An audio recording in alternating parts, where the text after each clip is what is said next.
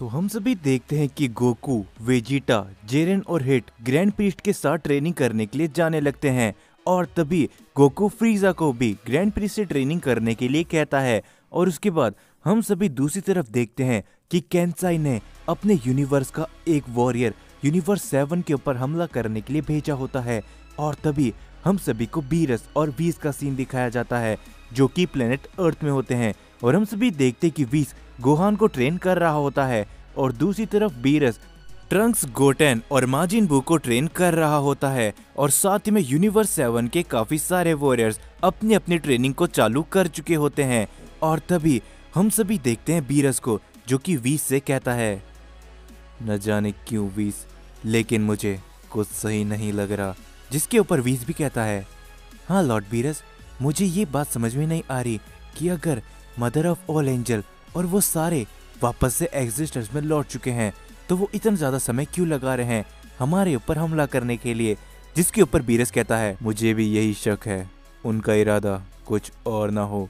हो सकता है कि वो हमें बेवकूफ़ बना के अपने किसी और प्लान में ही काम कर रहे हों। जिसके ऊपर तभी हम सभी देखते हैं कि वीस और वीरस उन सभी को वापस से ट्रेन करने लगते हैं और धीरे धीरे कुछ समय बीतता जाता है और तभी वीस और वीरस को एक काफ़ी बड़ी एनर्जी का एहसास होने लगता है और ये देख के वो दोनों ही काफ़ी ज़्यादा चौंक जाते हैं और वीस कहता है माय लॉर्ड बीरस क्या आपको उन शक्तियों का एहसास हो रहा है? जिसके ऊपर बीरस भी कहता है हाँ वीस, लगता है कि कोई यहाँ पर आ रहा है, लेकिन वो कौन हो सकता है? और तभी हम सभी देखते कि प्लेनेट अर्थ में काफ़ी बड़ा हमला आके सीधा टकराता है, जिससे वहाँ पर एक काफ़ी बड़ा धमाका होता है और वो सभी उस अटैक से बड़ी मुश्किल से ही बच पाते हैं।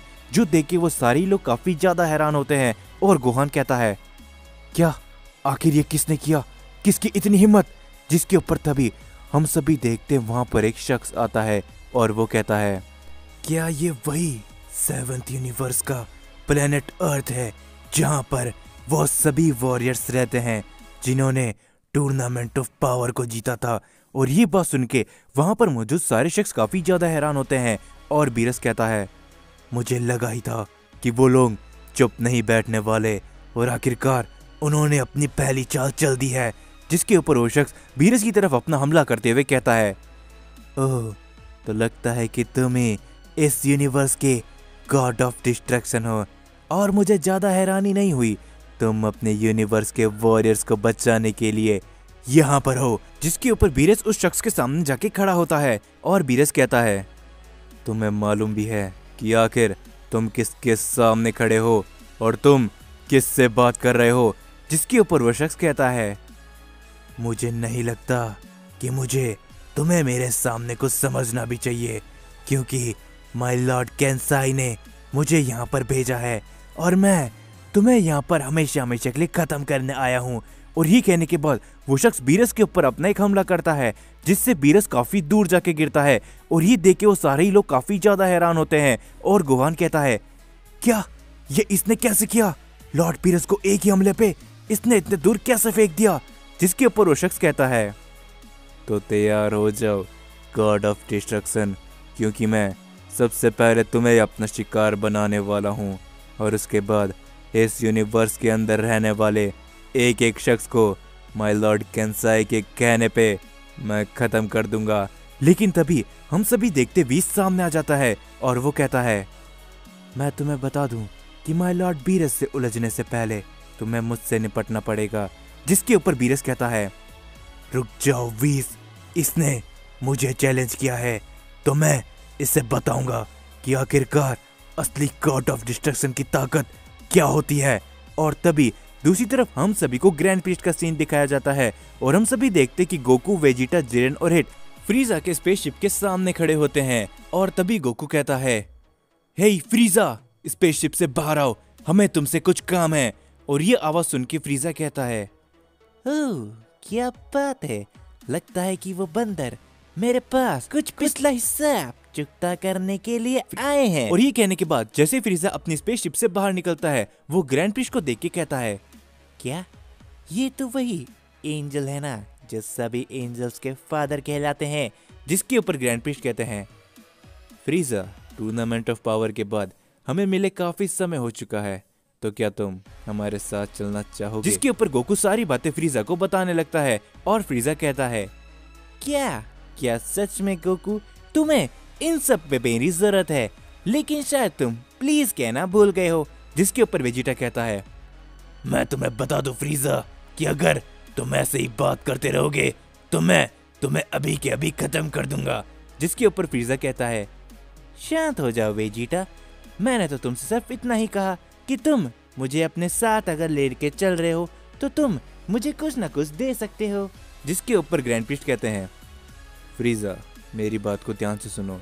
शायद तुम्हें ये बात मज़ाक लग रही होगी, लेकिन इस समय पे जो मल्टीवर्स के अंदर खतरा मंडरा रहा है। वो कोई छोटा मोटा खतरा नहीं है। मदर ऑफ़ ओल एंजल कैंसाई आ चुकी है। और उसके अलावा, बाकी के गॉड ऑफ़ डिस्ट्रक्शन यूनिवर्स 13 से लेके यूनिवर्स 19 तक का डार्क एम्पायर लौट चुका है, जो सुन के फ्रीजा कहता है, ओह तो लगता है कि ये कुछ सीरियस मामला है, जिस वजह से आप लोगों की मेरी ज़रूरत पड़ी है। तो चिंता मत करो एम्पर फ्रीजा आपकी मदद के लिए हाजिर है ग्रैंड पिस्ट तो चलो, मैं आपके साथ आने के लिए तैयार हूँ। और तभी हम सभी देखते ही ग्रैंड पिस्ट अपने साथ फ्रीजा को भी लेकर ट्रेनिंग करने के लिए जाने लगते हैं और फ्रीजा तभी मन मन कहता है, ये मौका भला मैं कैसे छोड़ सकता हूँ? ग्रैंड प्रीस्ट के साथ अगर मैं ट्रेनिंग करूँगा तो मैं और भी ज़्यादा शक्तिशाली हो जाऊँगा। उसके बाद इन बंदरों को भला मेर से बचाने वाला और कौन होगा? जिसके बाद हम सभी देखते ही ग्रैंड पिस्ट उन सभी को एक अलग सी जगह पर लेके जाते हैं, जहाँ पर वो सभी अपनी ट्रेनिंग को स्टार्ट करने लगते हैं। और धीरे धीरे करके वहाँ पे काफ़ी ज़्यादा लंबा समय बीतता रहता है और ग्रैंड पिस्ट बताते हैं। मैं तुम सभी को बता दूँ कि ये जगह देखने में भले तुम्हें आम जगह लग रही हो, लेकिन मैं आप सभी को बता दूँ कि बाहर का एक घंटा यहाँ पर कई दिनों के बराबर है। तो इसीलिए यहाँ पर हम सभी ट्रेनिंग करके और और भी ज़्यादा शक्तिशाली बन सकते हैं, जिसके ऊपर गोकू कहता है, क्या बात है? ये तो एकदम धरती के टाइम चेम्बर के जैसा है। और ये कहने के बाद, वो सभी आपस में वहाँ पर ग्रैंड पीस के साथ में ट्रेनिंग करने लगते हैं। दूसरी तरफ़, हम सभी देखते हैं बीरस को, जो कि उस शख्स के सामने खड़ा होता है, और वो शख्स कहता है, लगता नहीं है कि तुम्हारे पास सच में गॉड ऑफ़ डिस्ट्रक्शन जैसी ताकत होगी। तो आ जाओ, क्यों ना तुम मेरा सामना करो। जिसके ऊपर बीरस कहता है, तुम बहुत बड़े बेवकूफ़ हो। तुम्हें नहीं पता कि तुम किससे उलझने जा रहे हो? और ये कहने के बाद बीरस और वो शख्स एक दूसरे के ऊपर अपना हमला करने के लिए जाते हैं, जिससे वहाँ पर एक काफ़ी बड़ा धमाका होता है। और वीस कहता है, लगता है कि इनने कुछ ना कुछ प्लान ज़रूर बना रखा है, इसीलिए तो ये यहाँ पर आया है। जिसके ऊपर हम सभी देखते कि बीरस और उस शख्स की एक काफ़ी बड़ी फाइट चलने लगती है, और वो लगातार बीरस के ऊपर एक के बाद अपने काफ़ी सारे हमले करता है, जिससे बीरस बड़ी आसानी से बचता रहता है, और वो तभी एक काफ़ी जोरदार पंच लगाता है उस शख्स के, जिससे वो शख्स काफ़ी दूर जाके गिरता है, और बीरस कहता है, क्या हुआ? अभी तो तुम बहुत बड़ी बातें कर रहे थे। तो अब मैं तुम्हें दिखाता हूँ कि मेरी ताकतें कितनी है और ये कहने के बाद वीरस अपनी ताकत को अप करके उसकी तरफ़ अटैक करने के लिए चार्ज कर देता है। लेकिन वो शख्स वीरस के हमले से बड़ी आसानी से बच के वीरस के ऊपर एक काफ़ी जोरदार अटैक करता है, जिससे वीरस काफ़ी दूर जाके गिरता है और इस अटैक से बीरस को भी काफ़ी ज़्यादा चोटें लगती है। और तभी गोहान कहता है, नहीं, लॉर्ड बीरस लगता है कि मुझे लॉर्ड बीरस की मदद करने के लिए जाना होगा, जिसके ऊपर वीस तभी गोहान को रोक देता है और वो कहता है, गोहान, तुम ऐसे नहीं जा सकते। जरा उस शख्स को देखो।